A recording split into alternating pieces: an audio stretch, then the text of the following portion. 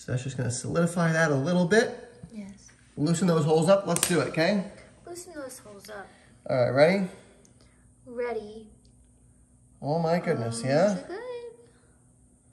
Okay. Okay, So, one strainer is off. so look at the colors in the strainer, okay? I wanna show you this real quick before I show you the cake. You see the mix of all these colors? Yeah. Every blue. single one of these options fell down through the strainer, okay? Which then gives us our second strainer. You ready to see the second strainer? Yes. Look at the underside of that. Ooh. How pretty is that, right? It's like tie-dye. Absolutely gorgeous, right? And this is all sinking down through the kit onto the cake beneath it. You wanna see the cake underneath it? Yeah.